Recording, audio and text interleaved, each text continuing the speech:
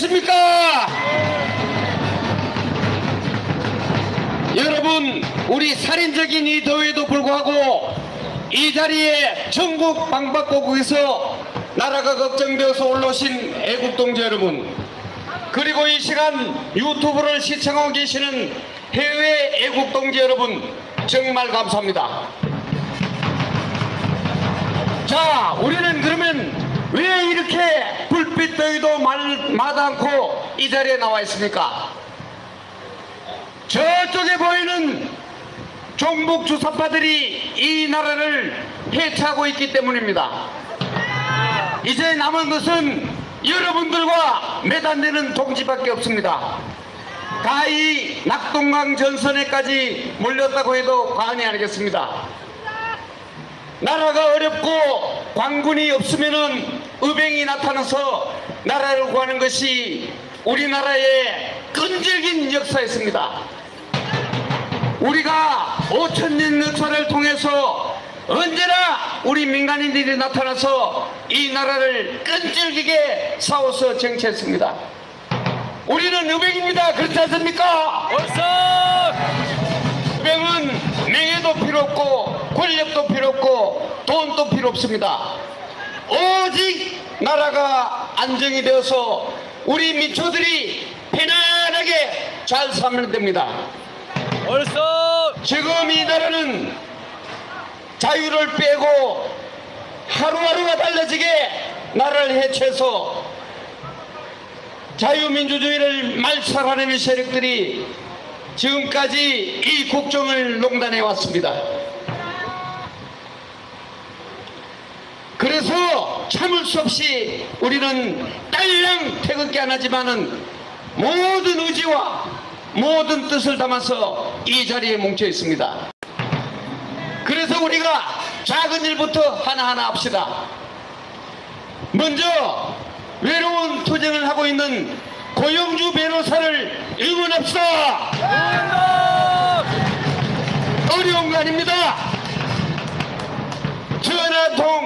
해주고 댓글 한 줄 달아주면은 그것이 바로 힘입니다. 우리 모두 입을 합쳐서 자기 입으로 공산주의자라고 말하고 자기 입으로 신정복을 가장 존중한다는 문제를 물러내치다!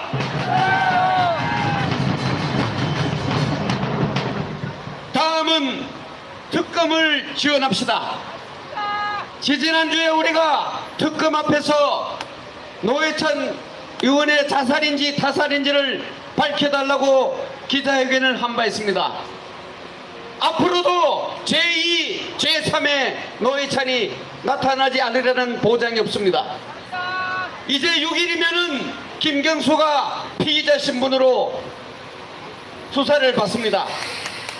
진실은 결코 가려질 수 없습니다. 얼써 드루킹으로 우리 이 나라를 다시 찾읍시다. 진리는 결코 헛되지 않습니다. 진리는 반드시 드러나게 되어 있습니다. 그리고 이제 남은 마지막 보루인 국군까지 해체하려고 혈안이 되어 있습니다. 우리 모두 국군을 보호하고 위로합시다.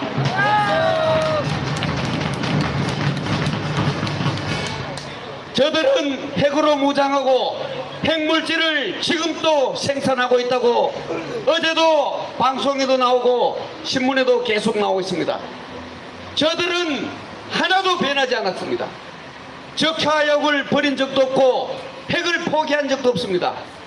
그러나 우리는 전방의 지피를 연내에 철수한다고 하고 있고 기동군단을 뒤로 물리고 스스로 우리 빗장을 열어주고 있습니다. 결코 잘살수 없습니다. 그렇지 않습니까? 우리 국군은 우리가 보호하고 우리가 아껴야 됩니다. 우리 울타리를 커무는 자들을 결코 용납하지 맙시다.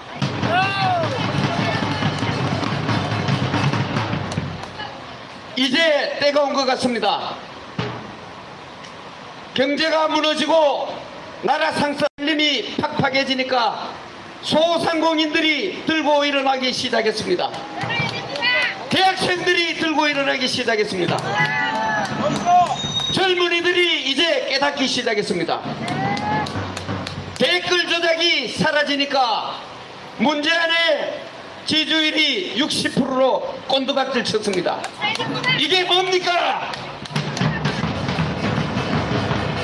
이제 진리 앞에 어떤 것도 가려지지 않는다는 것을 알았습니다. 이제 우리가 할 일은 나가서 싸우고 이기고 끝장 보는 겁니다. 얼싸 여러분